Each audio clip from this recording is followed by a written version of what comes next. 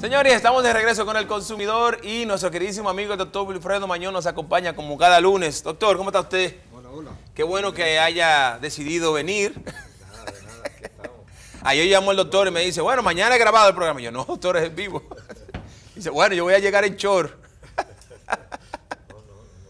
No, hay que respetar. Qué bueno, doctor. ¿Sí?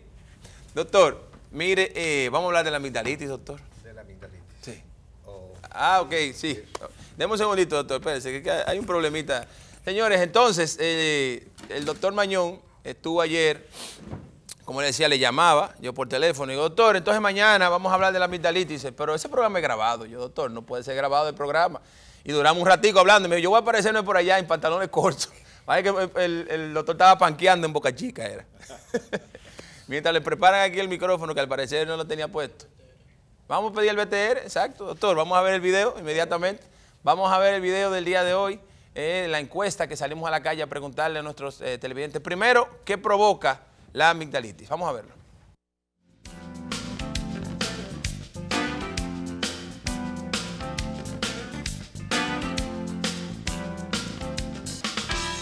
Es una infección en la garganta. Bueno, eso puede ser una infección en la garganta, eh, provocado por un virus, sea del gripe o asociado con el cambio de clima. siempre proviene por las infecciones. Creo que el exceso de bocear, de hacer voz, de soplar funda o absorber con mucha presión.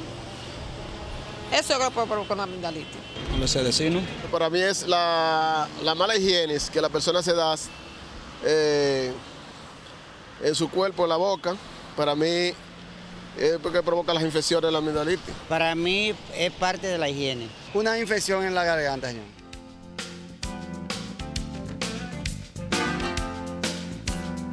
Señores, estamos de regreso y vimos ahí, doctor, ¿qué le pareció la encuesta? No, la genial fue a soplar funda. A soplar funda, crea la Antes sea, esto o sea, que usted hace... para- Entonces eso le da amigdalitis. Cuando eran de cartón, perdón, de papel, De uno papel- la soplaba y la explotaba. De papel colmado, como uno le llama. papel- pero ya no la hacen. No la hacen esa.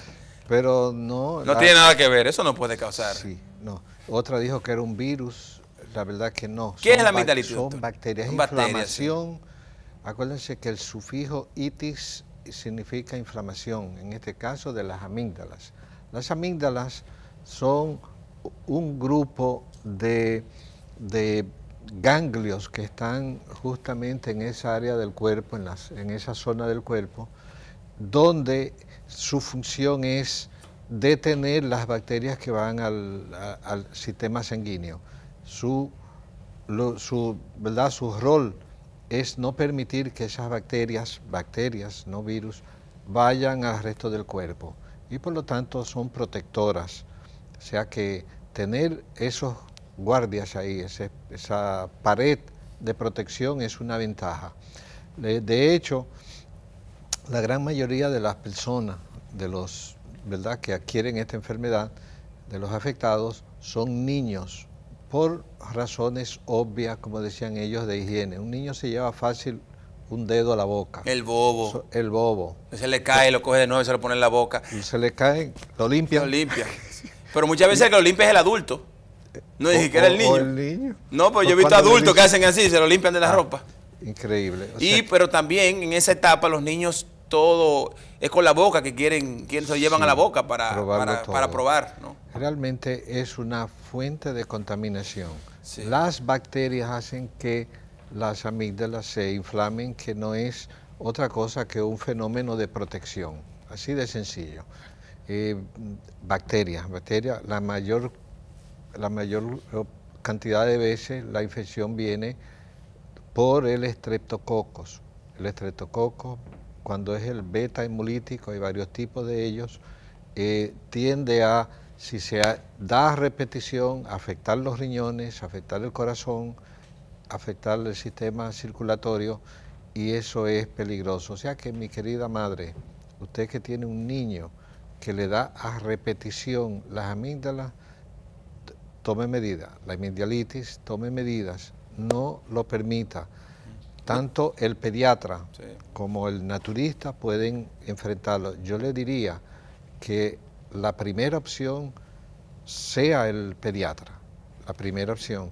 Y la segunda, el naturista, para mediano plazo, para protegerlo, para subir su sistema inmunológico.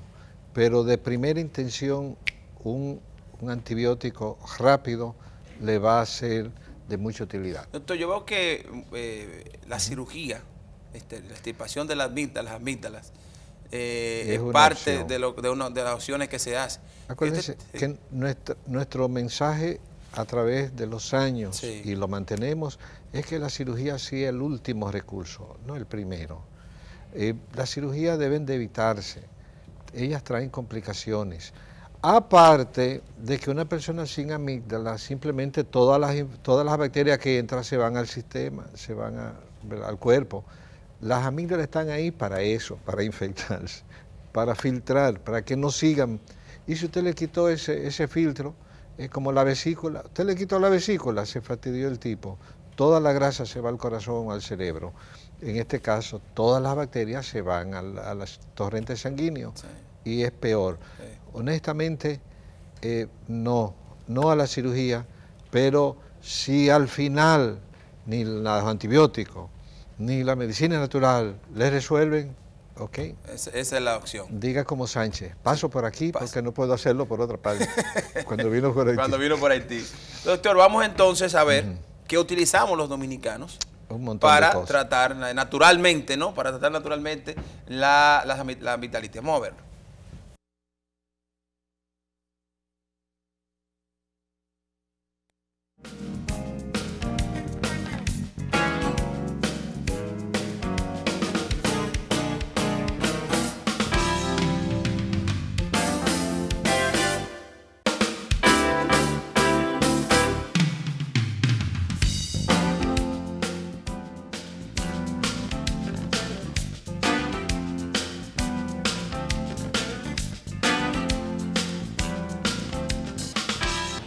Imagínense, hay, hay gente que menciona muchísimas cosas, pero no sé qué tipo de medicina da eso. Trago de orina que me da mi mamá. gárgara de guatapanal, de vinagre blanco y sal, la sal, eh, una agüita de sal, preparar una agüita de sal y ponerla a tibiar y hacer la gárgara con eso. para hacer gárgara con hoja de guatapaná, hervida, la hierve y el- con el agua hace gárgara. Según tengo entendido, el vinagre blanco, uno hace gálgara y supuestamente eso le resuelve. No, yo, yo no, no- remedio casero no, eh, pastillas que yo hago que sirven para eso. Yo sé que uno hace de guatapaná, gálgara, y alivia mucho la amigdalitis, pero lo recomendable es al médico porque Bueno, hasta ahora mismo nomás tengo conocimiento de la guatapaná, que casi le está dando la prueba a todo el que la hierve y se mejora bastante.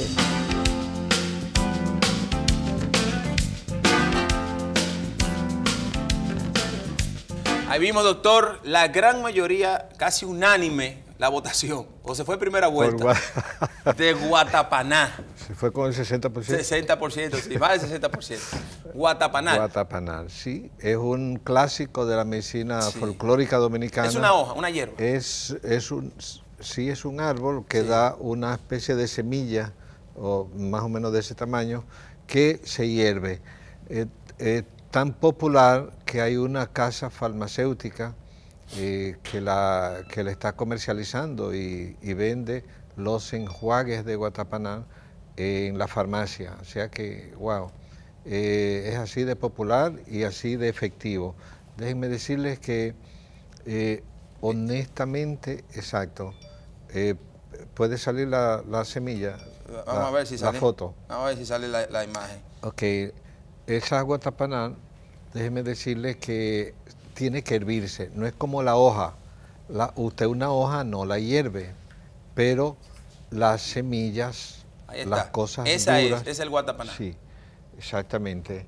Ah, hay que hervirla, hay que hervirla, Se como hierve. se hierve el jengibre, como se hierve la- la- los palos de, de tamarindo, los- las ramas y las raíces, debe de hervirse. Así es que... Doctor, ¿y el- eso se da aquí? ¿Se produce aquí? Sí, Sí. sí, sí, en nuestros campos. Eh, solamente hay, yo tengo una pequeña objeción, Usted tiene una pequeña objeción. sí. ¿Cuál Y es? es que eh, las personas que sufren del estómago, casi siempre cuando tú haces una gárgara, un buche, un poquito del- de lo que tú haces se te va, se, te- se te va el estómago y tiende a irritar ligeramente el estómago.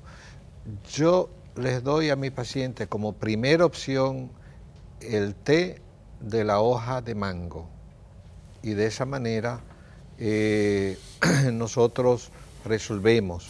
El té de la hoja de mango, ese sí se hace la infusión. La infusión de, de la hoja de mango se hace la gárgara en la mañana y en la noche, dos veces al día, y tiende a resolver el problema. De cualquier mango, doctor. Sí. No puede de ser de vanilejo, de que mango. No, no, cualquier mango. De las que tú tengas en el patio. De la que tenga en el patio. Entonces es una si infusión. No tiene en el patio, tiene que buscarlo. ¿Es un té o una infusión? Es una infusión. O sea, se pone la- el agua eh, El agua hirviendo. a hervir, se echa la se hoja. echa la hoja, después que esté se hirviendo el agua. Tapa, se apaga el fuego y se deja sudar. Debe preferiblemente tibiecita y de esa manera actúa. Hacer gárgaras con eso, doctor. Gárgara con eso. Pero ¿qué hacer con el niño que no sabe hacer gárgara? Es una buena pregunta. Es, por eso decía del guatapaná, no... eh, El se- niño no puede hacer no hace gárgaras. Hace buche, Sí. tú puedes lograr que hagas buche que- y que llegue y que se trague el té de hoja de mango. Pero tragarse el guatapaná no nos gusta, no es recomendable. Por eso es mi primera opción. La segunda opción es el guatapaná. Su ¿Cómo primera no? opción es el mango. Sí, La infusión de mango, porque sí. no es tóxico, no hace, bueno, no hace daño No, no hace daño, ninguna de las dos son tóxicas, Sí. pero no hace daño a la mucosa a la gástrica. mucosa gástrica, ok. El- de hecho, el guatapaná se usa con mucha efectividad en lavados vaginales. Sí. Sí. Para- Eh, para infecciones de cándida, de tricomonas, eh, de las que son las más frecuentes especialmente. Ok. Así que, el, eh, dicho eso del guatapaná, del guatapaná y del té de la hoja de mango, eh, eh, pasamos a unos que yo quiero mencionar en este punto, porque a mi señor padre, quien era médico, eh, llegó a ser coronel médico del ejército y trabajaba en el Hospital de la Fuerza Armada, él utilizó por años con los hijos, los 13 hijos que tuvo, con los... ¿Cuántos hijos tú? 13, uno, tres. 13. Sí, sí, el hombre era... No, no, no. Él no era tímido. No, no, no era tímido. Él... Había que tener cuidado al lado de ese señor en el baño cuando estaba orinando. Sí, no, él- Sí, porque salía embarazado cualquiera uno en el baño ahí. no, no, no, con mi mamá. Él, él tenía miedo cuando llegaba a la casa. tuvo- de padre y madre son tres hermanos. 10 de padre y madre. 10 de padre y madre. Pero que mi papá tenía miedo de preguntar cuando llegaba a la casa, ¿qué hay de nuevo? No, no, tenía, ¿qué de nuevo? Uh, que tenía miedo de que le dijera que vive el muchacho. Mi mamá. ¿Qué de nuevo? Mira. Sí, sí, sí. No, y siempre, Wilfredín, que viene ahí. Lo bonito es que siempre estábamos criando dos y tres. eh, Y se llevan muy poco, supongo. Porque... Cuando yo tenía 10 años, tenía un hermano de 9, otro de 8, otro de 7. ¿Usted es el mayor, Yo soy el mayor, ¿sabes? Pues, ¿qué usaba mi papá? Sí, con no, nosotros? no usaba no, preservativo, no usaba. No, no, pero para la, para la infección de la garganta. Dígame, ¿qué usaba su papá? El lavado, el, la, el toques de yodo, él le decía el toques de, de yodo. El toque Eh, de yodo. Él agarraba y usaba con los nietos, con todos sus pacientes. Ya no había que hacer gárgara ni nada, ni, ni inyectar. ni- Sí. A él le encantaba, a papá le decían papá papulla. Papá porque por cualquier cosa, una inyección. Sí. Y era la única inyección que él no ponía, la de las amigdalitis. Agarraba un, un, ¿verdad? un palito, un hisopo, con algodón en la punta, lo enchumbaba de yodo, que es oscuro, le abría la boca al incumbente y le estrellaba ya en el fondo eso de yodo. O A cualquiera que le cucuten por ahí va No. a tener náusea, que dicho ese paso es bueno para que bote el yodo. Y definitivamente, eh, de- después de la vomitadita, el niño, el paciente, cualquiera que ¿Cuál era la sea, especialidad de su papá, doctor? era médico general. Médico general. Y definitivamente trataba y trata. Yo lo he probado en dos o tres oportunidades y también me ha funcionado. Sí. Toques de yodo. Una vez y ya. Es más, Pero hay que tener cuidado, el yodo, cuatro- porque el yodo no se puede ingerir, ¿no? eh, es antibacteriano. Es antibacteriano. ¿Qué, qué te digo? Eh, eh, ¿Le funcionaba? Le funcionaba. Le funcionaba. Sí mismo. Eh, ¿Qué usan los naturistas, aparte de eso, de eso que hemos hablado, de la gárgara de mango, de guatapaná? del toque de yodo, que es, eh, ¿verdad? Eh, vamos a decirlo así, folclórico, eh, cosas de médicos viejos, cosas que no usan los médicos actualmente. hay antibióticos naturales donde está el ajo, la echinacia, el golden seal. Todos esos productos vienen encapsulados, vienen líquidos, que están a la disposición del, del paciente, del médico naturista, para ah, dar al paciente en ese periodo agudo de crisis, sin llegar a permitir la cronicidad. Déjeme decirle que los antibióticos naturales funcionan, son efectivos, no son tan efectivos como los antibióticos convencionales, pero a mediano plazo funcionan. Nosotros hemos visto la efectividad de estos, eh, de estos productos. Un cuarto producto, aparte del ajo, Golden Seal, Echinacia, es el Pau Darco. ¿Usted puede explicarnos del palo Darco, Pau Darco? Sí. ¿Nos lo puede explicar cuando regresemos de la pausa? Con mucho gusto. Sí, señores. Regresamos ahora con el doctor Wilfredo Mañón después de la pausa.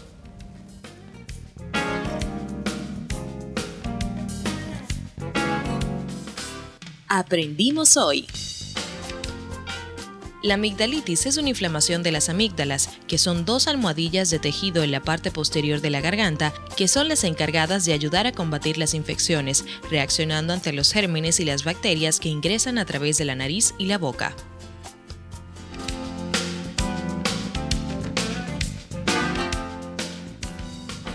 Mantente en contacto con nosotros. Síguenos en nuestras redes sociales arroba con el consumidor en Instagram, Facebook y Twitter.